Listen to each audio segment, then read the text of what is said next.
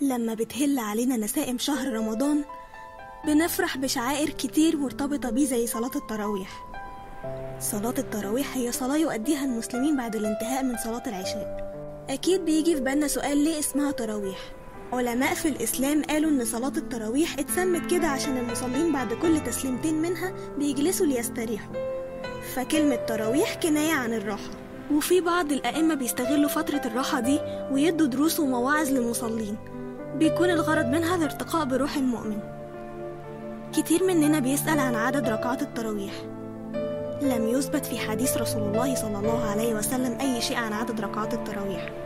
ولكن السيدة عائشة رضي الله عنها قالت بأنها قد رأت رسول الله عليه أفضل الصلوات وأتم التسليم يصليها 11 ركعة وكان يصليها أربعا أربعا ثم ثلاثا. ويمكن للمسلم أن يزيد عن 11 ركعة ممكن 20 أو 36 حسب مقدرته. وتعتبر صلاة التراويح من السنن التي يجب على المسلمين اتباعها. فقد وصانا رسول الله صلى الله عليه وسلم بقيام شهر رمضان إيمانا واحتسابا لوجه الله.